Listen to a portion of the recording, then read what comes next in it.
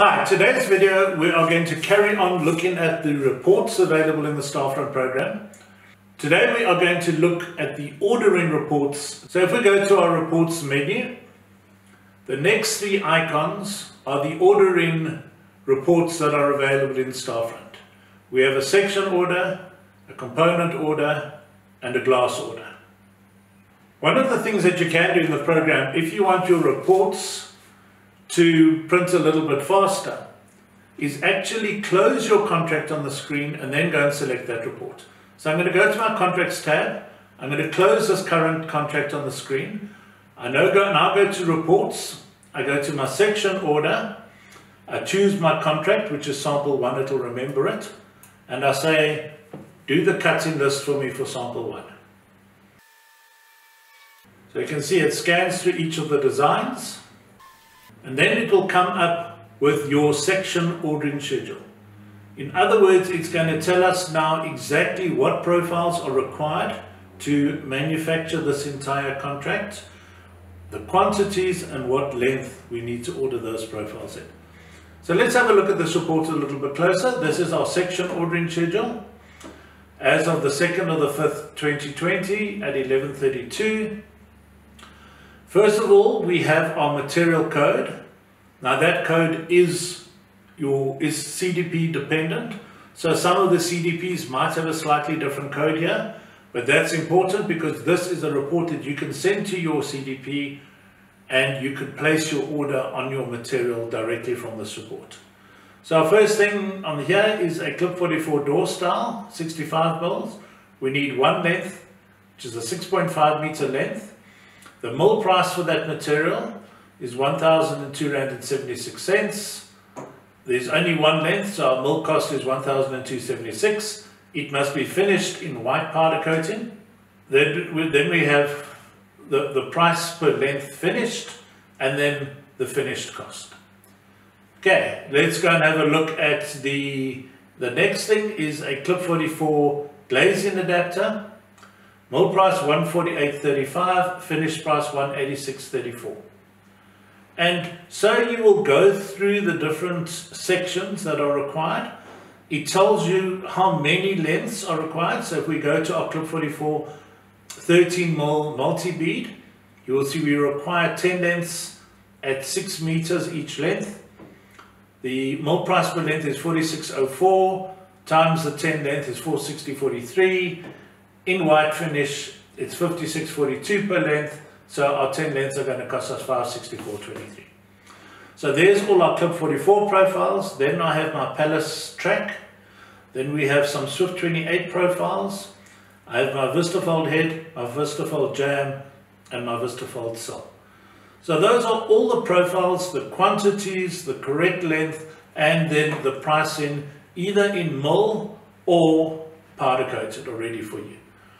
So it is possible for you to order your material in just mill finish, in which case you would be using the, these sets of fingers down this side, or if you want to order it pre-finished from the speaker or from your CDP, then you'll be working on that price. So that is the total of our, our material. Let's look at our finished prices.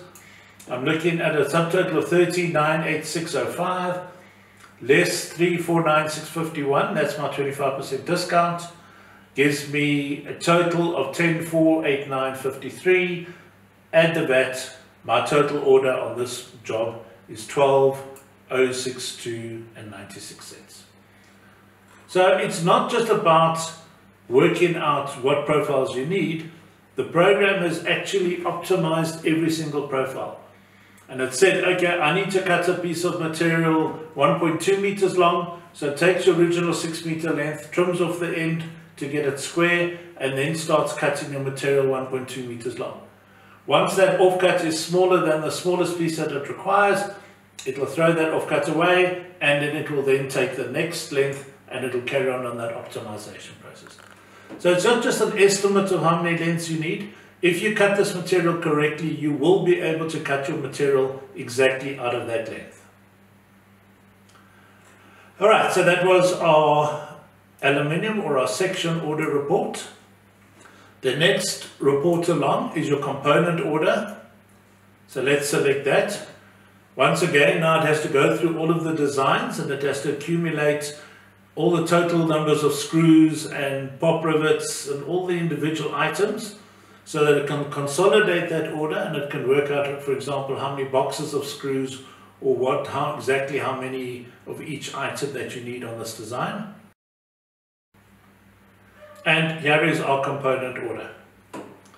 Okay, so our component order, you'll see we have the code. Once again, this code can vary depending on who your Crealco distribution partner or CDP is. You've got a description of that item, how many you need to order, what is your pack size, what are the units, and then the price excluding VAT and the price, total price. So one at 187.50 is still 187.50. Here are Vistafold hinges in natural.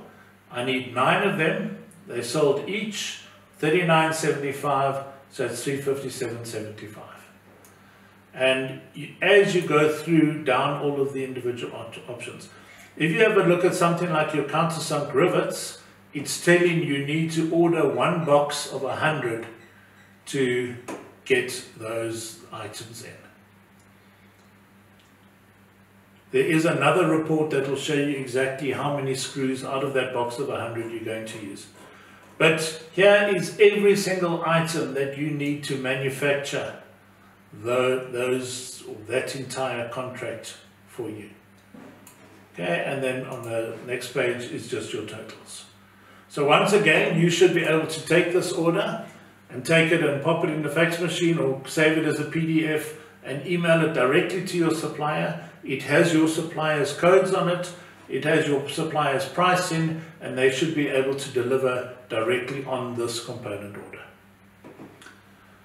All right, and then the, the, the third order that we have is our glass order. Now, our glass order, once again, you need to select the, the contract that you want to work on. It will scan through. And now what your glass order does for you is it works out, it separates it for each type of glass. So for example, first of all here I've got my Clearfloat formal. Then I have my LAM 01, which is my 6.38 laminate glass. Then I have my ST04, which is my formal stippolyte glass. So Clearfloat 4 this is the reference that your glass supplier can put onto that piece of glass for you so that you know when it comes to assembling this exactly what piece of glass goes where. It will tell them how many pieces, what is the width of that piece of glass must be cut, what is the what length must that piece of glass be cut, what its area is, the pricing is 50 rand a square meter and therefore it works out the price. Okay. Just remember, if you are going to order your glass cut to size for you, on your costing screen, you must go and choose the option which is glass cut to size. So these are all the different pieces of formal glass that I need for my various items. They're the pieces that I need for my shop front. Remember we changed the shop front, the top glass to be um, formal glass. Okay, then I have my laminated glass. So on shop front one there was some laminated glass and on door number three there was some laminated glass. And then finally our stippolyte, which is our frosted glass, was only window number four. It had two little pieces of glass. They're the sizes, the area, the price, the total, and the total quantity.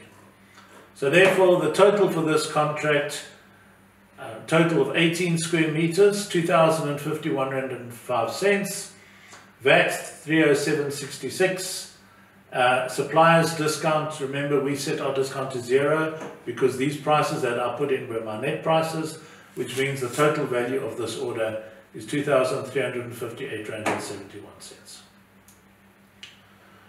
Those then are the three different ordering reports that are available for you in the Starfront program. Just quickly, I want to go through, if, if we take any one of these options um, I'm going to just take our, our, first, our contract report.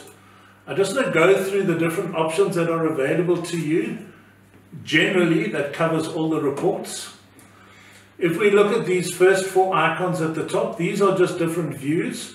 So I can click on the first one, it will show me the whole page as a view. I can click on the next icon, which is zoom to the full width. So my width will fit in on the screen and I can scroll vertically. My next one is to zoom to a scale of 100%. So it works out very close to the same as the full page. And then the final one is you can set your zoom. So I want to set a 70% zoom or I want to set 150% zoom. So that's just to control your view. This panel on the left hand side is your thumbnails. So if I've got a report with multiple pages, I could click on that thumbnail and I could pick up those different reports. These blue arrows are to navigate through the different pages. So that would be go to the first page, go to the previous page, go to the next page, go to the last page. This icon here, if I've got a report which is 50 pages long and I want to go to a specific page, I can click on that, I can say enter page number and I can go to that page. All right, then I've got a, a button which is copy page to clipboard. I can just push copy and it'll copy that information to the clipboard. I can now go and paste it into um, any software that I'm currently working with. The next button is my printer setup. So here I can choose which printer I want to print to. It will only physically print when you push that next button along, which is the print icon. Once you click that, it will send it to um, your printer. One of the things I do suggest you do is that you install yourself a PDF print driver, a high resolution PDF print driver. I use a program called Easy PDF Printer 6. It's just the name of the program. And what that will allow you to do is it will allow you to, now when I click on print, it'll ask me what is the file name where I want to save this printout to. Okay, so that was the save to PDF by installing a PDF driver. Uh, then I've got a load report, so it allows you to save a report in its own format and then load it. First, let's have a look at the save report icon. This save report will allow you to save your report to any of a whole range of standard formats. PDF documents, a proprietary quick reports format, that's its own format, a text document, a CSV file, a PDF, an Excel file, a real text format, and a Windows Meta file. So those are a whole lot of standard formats that you can export on. The one which is going to be very convenient for you is to choose a CSV or an Excel spreadsheet. Okay, that will allow you to take any report that you can access in Starfront and take it into Excel. So if I choose a CSV, again, it's going to put it onto my desktop and I'm going to choose, let's just call this again test one. Now, if I go to my desktop, I will have a file called test1.csv and just open that in Excel and there you'll see there's that whole report saved in an Excel document. You will need to clean this report up a little bit. You need, you'll need to go in and uh, get rid of some unnecessary columns. Unfortunately, the Excel doesn't import that cleanly, but it is relatively simple to go in, uh, clean up the unnecessary columns and access that information. One of the reports that, that people use quite a bit is they utilize the itemized rates report and they save that as Excel. So let me just show you that. If I go and print the itemized rates report, and I choose sample one, that is a report which now gives me the breakdown of the individual items on this quote. I choose save, I say save it as an Excel file and I'm going to call this item 1. Now if I go to my desktop, I have an Excel file called item 1 and open that and there's my itemized rates. So I can use that for quoting, I can use that for importing those prices into Pastel, whatever I want to do with that item. So those are just the general options that are available to you when you've got a report open in the Starfront program. Let's go back to that sample one. So if I had, under the save option, if I save it as this quick reports file format, so this, let's call this cost one, then I could use that open button to open cost one report. So you can save an electronic version of all your reports if you want as well. And then your final icon is just to close that screen. All right, so that covers all of the reports that are available to Starfront. It is on a superficial level. Uh, there will be a future video where we look in a bit more detail at the fine adjustments that can be made to the various reports. But that's enough to get you up and running and understand what are the standard reports available in the Starfront program. Once again, thank you for taking time to watch this video. Please stay safe, stay healthy and stay happy. We'll see each other again soon for another video. Bye-bye.